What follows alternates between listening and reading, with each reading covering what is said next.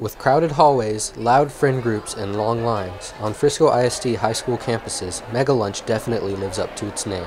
Mega Lunch is an hour devoted each day to better support students um, and their needs, be it academic, social, uh, curricular, co-curricular, maybe even just kind of vegging out and eating lunch for an hour with uh, their peers. And so we carve it out one hour every day in between second and third period. While Lebanon Trail was the first Frisco ISD high school to implement Mega Lunch, Wakeland High School soon got in line. We call it Power Lunch at Wakeland, and it's an hour during the day where students can choose between 1205 and 105 when they want to eat lunch. We have lunch available in the cafeteria, and then out of our concession stand, we always also sell lunch products. And then all their, they can go see their teachers for tutorials. They can go to the gym and play basketball. Um, they can have team or club meetings. Since it began, for the most part, Mega Lunch has been received in good taste. I mean, at first I didn't really like it, but I like how much time we have because if I have like a third period class where I need to do homework, I'm able to finish it, and it gives me a lot of time to eat at, at the same time, so it's pretty convenient.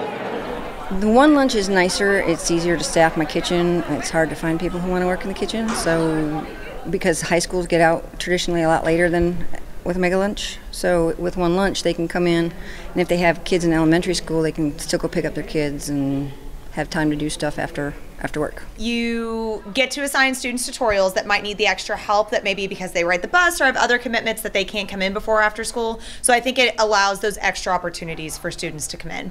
With 1,900 kids, there are probably 1,900 different benefits uh, for our kids across campus. However, where there are positives, there are also negatives. The Mega Lunch affects our just because uh, there is a lot of trash on the hallways and a lot of chocolate milk spilled on the walls and I think syrup on the hallways. Sometimes I'm kind of like cut off from other people, I guess, because I'm not like forced to expand my circle, I guess. It's a little bit rocky. One of the main concerns for me is that um, students aren't accessing tutorials as much. They're not getting as much help from their teachers as I think they could.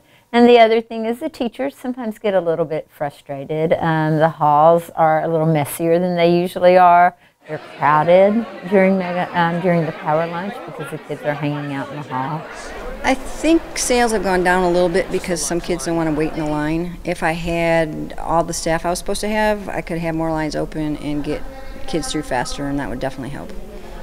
While cafeteria sales may have gone down, it's been reported that students who take advantage of the time have seen an increase. I've seen an, an improvement in student grades because of Mega Lunch. I've seen that students who come in for extra tutorials or review sessions we may not normally be able to hold without Mega Lunch, um, that their grades, test grades will improve and things like that.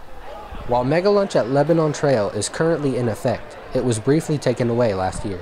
So really what we noticed in the last week of April was 1,400 kids that really weren't using it for its benefit. They're really just hanging out um, for an hour making bad choices. So what we recognized was student safety was compromised, um, the cleanliness of our school was compromised, and we kind of needed to reset that.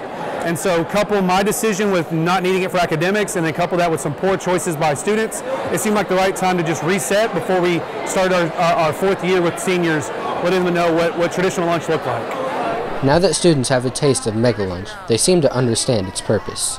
I go to classes a lot, second half of power lunch, so first half I can have like a little break, see my friends, and just do stuff. I kind of procrastinate sometimes, or I don't understand the concept, so I'll ask my friends to help me, or I'll go get extra help, or go to meetings and stuff. I don't cheat, but I get help. Like the saying goes, everything really is bigger in Texas, even lunchtime. I'm Nathan Lowenstein for Vanguard TV.